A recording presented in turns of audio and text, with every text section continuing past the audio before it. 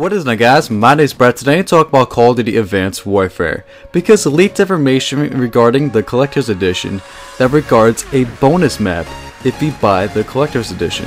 What I mean by the Collector's Edition, you pay extra for more stuff.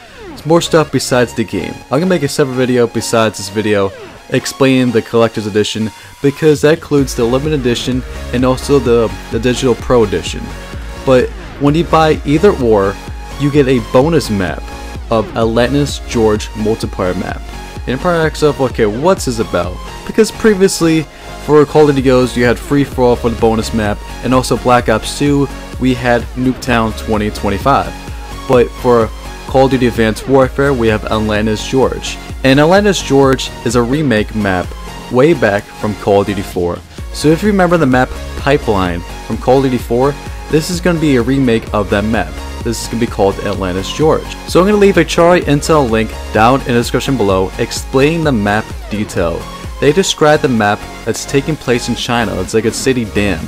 So the very last sentence describes a map-based turret score streak that overlooks the dam and helps to keep the enemies at bay. So I'm assuming this is like a sentry gun or some kind of turret that might prevent people then crossing the dam or crossing a bridge that's near the dam. Who knows? We have to find out when we play Call of Duty Advanced Warfare. So leave me your thoughts and opinions on this. Are you excited that you're getting a map, bonus map, including with the collector's edition?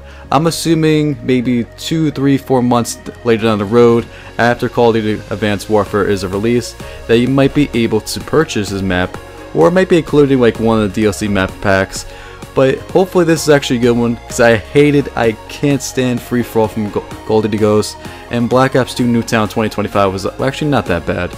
So if you enjoyed this content, leave a like, pass along this video so it helps me grow, and I'll see you guys in the next one. Peace guys, thank you, bye.